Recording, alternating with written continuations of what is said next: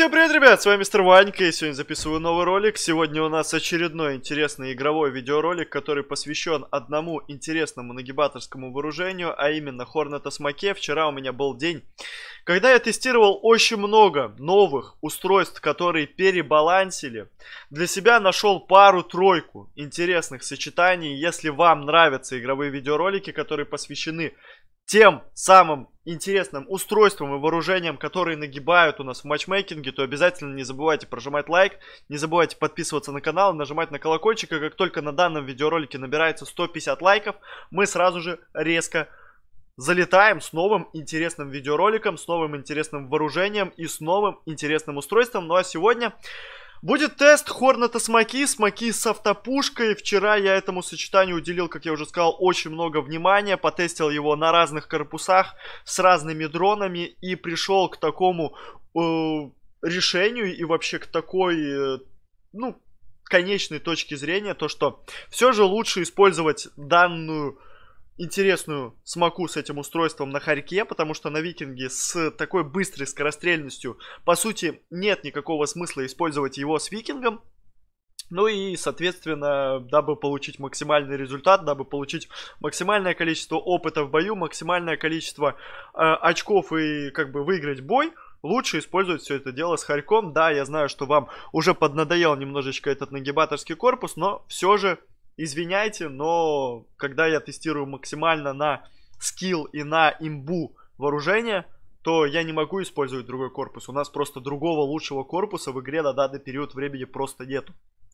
Что касаемо катки, друзья, говорю сразу, что я, его, я эти катки записал отдельно, то есть э, играл э, два или может даже три боя здесь на Хорнета с Маке. Все катки подряд, ничего не перепикивал, не искал какие-то лучшие катки, просто, ну, бывает, ребята новые заходят, думают, что я там может быть, что-то перепикиваю, там долго катаю, чтобы получились какие-то интересные бои. Нет, все катки подряд, в нескольких разных режимах я покатал. Первая катка у нас стадиончик, если я не ошибаюсь, то это была быстрая досрочка. Без особых проблем здесь у нас все получилось. Сумели скатать, сумели быстро выиграть, нагнуть. И что самое главное, то что я понял для себя, что данное устройство намного интереснее и потенциально лучше смотрится на более больших картах. То есть на тех самых картах, где у тебя есть пространство, где у тебя есть возможность занять какую-то определенную позицию и сыграть от нее, нежели маленькая, например, карта по типу какого-нибудь там сандала, песочницы, где ты рано или поздно все равно сближаешься с противником, за счет этого тебе может там, ну, прилетать ненужный лишний урон, соответственно, ты на этом вооружении не так долго живешь, и, соответственно, ты уже наносишь не такое большое количество урона по противнику. Но вот что касаемо таких больших карт, как Стадион, как там даже Брест какой-нибудь, э, Солик, и, ну и прочие, да, большие какие-то такие средне-большие карты, на этих картах данная смока смотрится просто нереально круто. То что, то, что ты растягиваешь противника, вот как, например, сейчас, да, я откатываю от расстояния, накидываю постоянный потенциальный урон по противнику. Да, хорошо, мне здесь повезло то, что у противника были довольно ближнебойные пушки, и то, что если я играл против них на таком, ну, среднем довольно-таки расстоянии, накидывал урон, они мне, по сути, не могли ничего здесь сделать. Да, может быть, могло быть так, что на том же стадионе было бы большое обилие рельс, громов, там, э, гаусов, шафтов. Но здесь мне немножечко повезло. Было где-то половина игроков на ближнебойных пушках э, с, противник, с противоположной стороны. Ну и за счет этого я как бы мог э, чуть больше растянуть, чуть больше накидывать урон с расстояния. И это то, что и нужно вообще в принципе этой смоке. То есть вам нужно растянуть противника, как можно больше вкидывать урона, и даже, ну, по тому же Гауссу, как вы видите, сейчас прилетело нереальнейшее большое количество урона. Спросите вы меня также обязательно о том, почему смока с автопушкой нагибает. Почему нельзя взять ту же смоку с поджогом, с заморозкой, либо там с большим э, критом, да? То есть, почему, в чем фишка его? Почему оно будет сейчас нагибать? Во-первых, апнули само устройство, да? Сейчас оно, если я не ошибаюсь, на какой-то процент начало наносить больше урона. Но и даже если исключить этот момент, да, то есть, как бы, ну, посмотреть на всю эту ситуацию, может быть, так неделю назад, да, то есть там убрать этот процент, который добавили, все равно эта смока была в балансе. Я, честно говоря, не обращал на нее внимания, я не катал на ней, но когда я вчера начал тестировать, да, потому что, ну, многие там и в комментариях писали, то есть посмотри, потести, ее должны были апнуть. Э, я посмотрел, я потестил, и я серьезно удивился. Я удивился тому, что она реально крутая. Она реально быстро наносит большое количество урона. И даже когда ты кидаешь эти быстрые смоки там по 150, по 200 урона, после этого у тебя вылетает тот самый быстрый крит, за счет чего то это смока и нагибает. То есть ты даешь быстрые 3-4 смоки, Следующая у тебя смока, пятая или шестая, уже вылетает с критом. Соответственно, каждые где-то 3-4 секунды при нормальном быстром наносе э, урона по противнику у тебя вылетает крит. С обычной смокой такой возможности у вас нету. И за счет этого, конечно же, смока будет вытягивать и нагибать. Даже на больших картах, даже на большом расстоянии, потому что смоки именно крит он не падает с расстоянием. Да, у тебя падает урон самой пушки, то есть, э, соответственно, если там ты с ближнего расстояния, например, наносишь 150-200 урона по противнику, то с большого расстояния там будет, например, там 100, может там 70, да, наносить. Но крит, этот самый, который большой проходит по противнику, он также будет оставаться с большим уроном. И, соответственно, вам будет также легко и просто нагибать любого противника, у вас в этом плане будет все получаться, и вы будете спокойнейшим образом, соответственно, также и нагибать противника. Дальше, друзья. Что касаемо корпуса, я сказал, да, то есть приоритет уходит именно Харьку. Я тестировал с Викингом, я рассматривал это вооружение потенциально с Викингом, с Хантером, да, и пришел к такому мнению, то что все же, ну, Харек, ну, на, на то он и Харек, то есть, чтобы использовать именно с ним. С Викингом можно было бы использовать данное вооружение, если бы это смока потенциально уже не наносила такое большое количество урона за счет своей скорости. То есть с викингом у тебя есть только плюс в том, что у тебя там чуть больше урон, и все.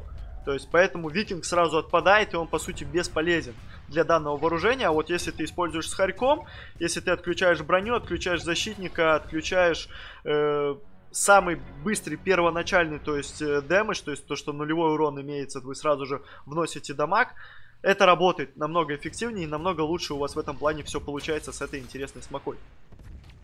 Поэтому на данный период времени я могу сказать то, что со смокой, наверное, в большинстве случаев можно останавливаться на автопушке. Кто играет на смоке, да, поджог имеет смысл быть, но здесь я скажу одну простую вещь. Думайте немножечко головой. Смотрите, когда вы играете э, на смоке и вы не видите резиста от, от э, данной пушки, желательно вам, я рекомендую использовать смоку с автопушкой. Почему же? Вы наносите как можно больше урона, да, если у противника нет резиста, соответственно, вам намного быстрее его нагнуть. У вас намного быстрее это получается. Если же в катке появляется резист, если вас этот резист начинает напрягать, у вас не получается его так быстро сливать за счет того, что у него уже есть какой-то процент защиты. Да, я понимаю, что есть хорек, и по сути там в большинстве случаев можно просто игнорировать это все дело, и можно спокойнейшим образом также продолжать и нагибать. Но ну, про происходят такие моменты, когда, ну, не все получается, и там бывает там 3, 4, 5 резистов в бою, и тогда уже смока, ну, перестает настолько жестко нагибать. Вы быстро берете смоку с автопушкой, меняете на смоку с поджогом, и, по сути, этот резист уже никак не будет спасать его. То есть, резист как бы был, и как бы его уже не будет. Потому что смока с поджогом, хоп, нанес урончик. 1200 просто моментально вылетело за счет поджога. И по сути уже тот самый резист, который был у молодого человека, он его уже не будет так спасать. Он не будет ему так настолько жестко помогать, и, соответственно, вам будет уже намного проще нагибать данного оппонента.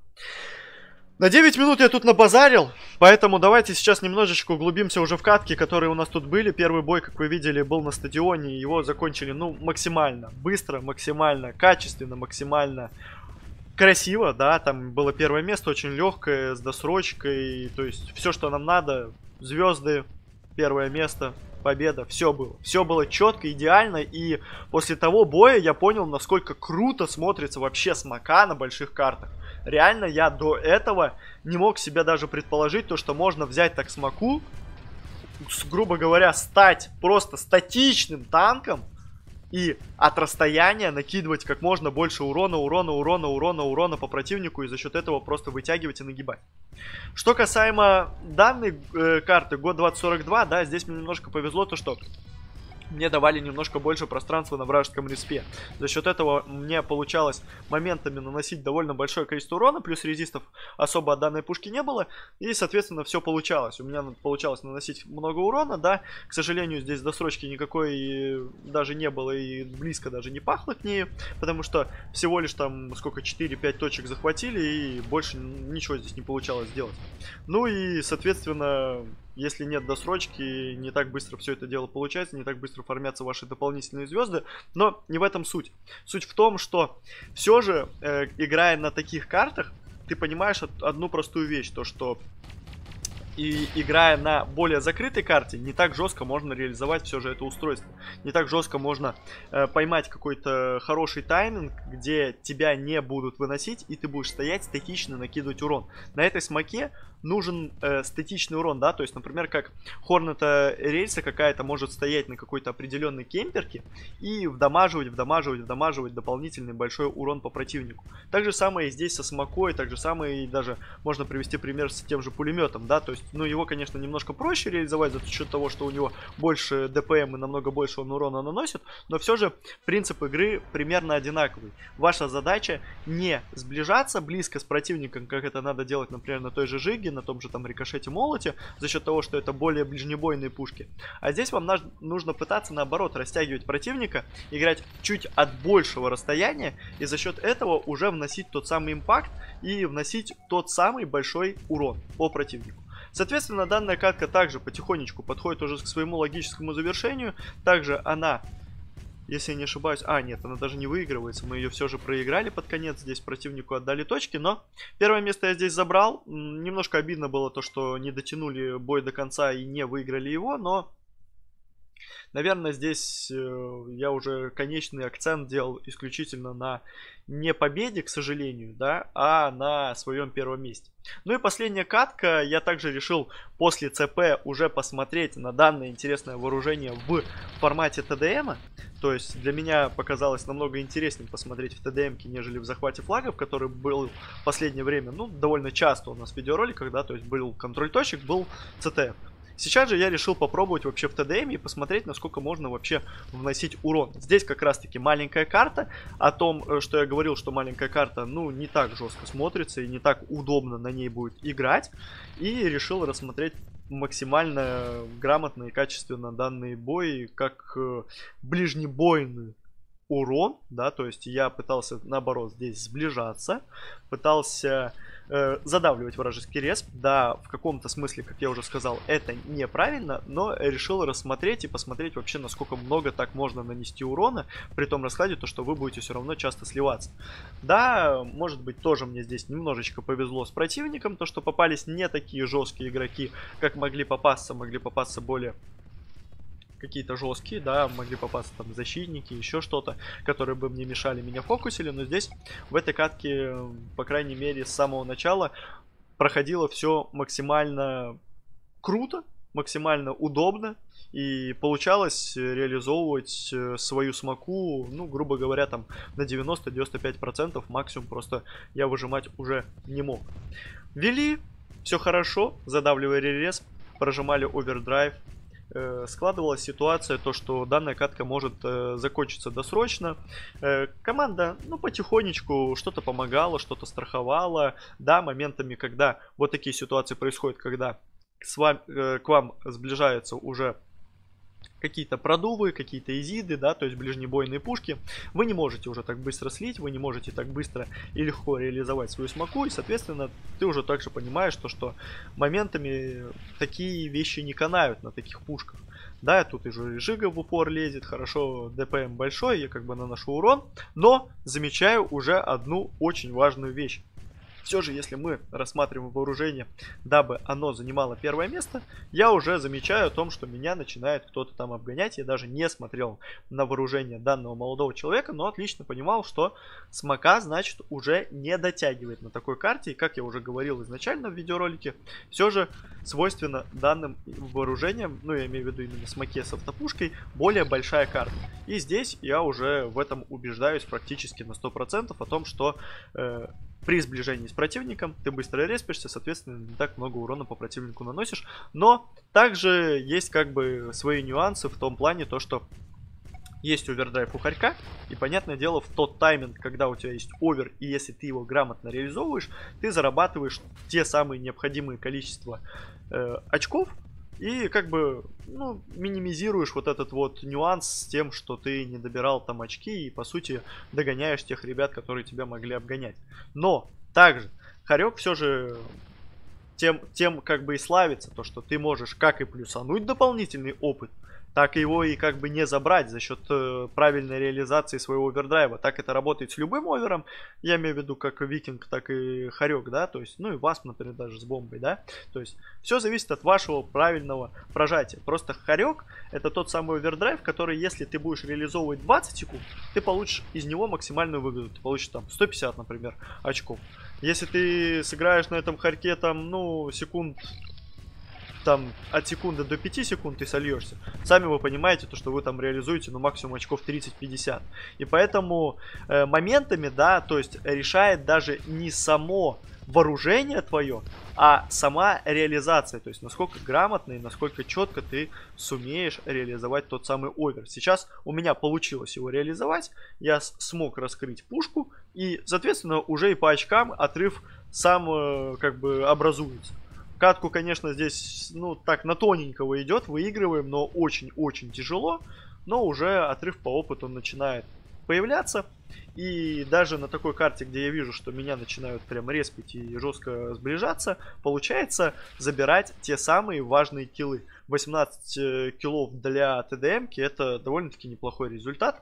Можно было бы, конечно, бы его увеличить если бы я играл на другой пушке или на другой э, карте, да, то есть если на этой карте я бы играл бы на другой пушке, на том же пулике, понятное дело, что результат был бы лучше за счет того, как я уже сказал, я не знаю в который раз, что пушка данная не так актуальна на маленькой карте, но за счет правильной даже реализации правильного подхода все равно тот важный минимум из нее можно выжить. Ну и тут уже, короче, концовка, полторы минуты до конца, довольно сложная, неоднозначная, но овердрайв есть, и если я не ошибаюсь, эту катку мы также вытягивали под конец, здесь все получалось э, до конца дожимать, и я остался очень даже доволен этим вооружением, и для себя, наверное, понял то, что в матчмейкинге, даже на стримах, когда я катаю, все же стоит уже менять тот самый вулкан. И на каких-то картах, на каких-то определенных режимах стоит покатать на той же смоке, покатать еще на каком-то другом вооружении, а не зацикливать свое внимание исключительно на том самом вулкане. Да, всем понятно, то, что он сейчас наносит максимально большое количество урона по противнику, и по сути он является самый ДПМный и самый много наносящий урон урона пушкой, но все же уже на данный период времени для определенных режимов, для определенных карт можно находить интересные сочетания и которые по сути у нас в ближайшее время и будут показываться. Катку заканчиваем с победой, с отрывом в 150 опыта, 400 очков э, на ТДМ. Это довольно-таки неплохой результат. 25 килов, конечно, здесь, ну, наверное, на вулкане я бы смог бы набить где-то 30 очку, может 35 очку. Но Пушка реализована максимально. Все получилось так, как я и планировал. Смог заработать первое место, смог победить. Одну катку, к сожалению, мы там не выиграли. Но главную суть, я думаю, что вы поняли. И мой вам совет, если вы играете на больших картах, если вам нравится пушка смока, присмотритесь к этому важному и интересному устройству. И я думаю, что вы из него получите что-то новое и интересное для себя и сможете его также грамотно и интересно реализовать. У меня, друзья, на этом все. Если вам понравился видос, не забывайте прожимать лайк, не забывайте подписываться на канал, не забывайте нажимать на колокольчик, дабы ничего не пропускать. С вами был мистер Ванька, друзья. Всем спасибо за просмотр, всем удачи и всем пока.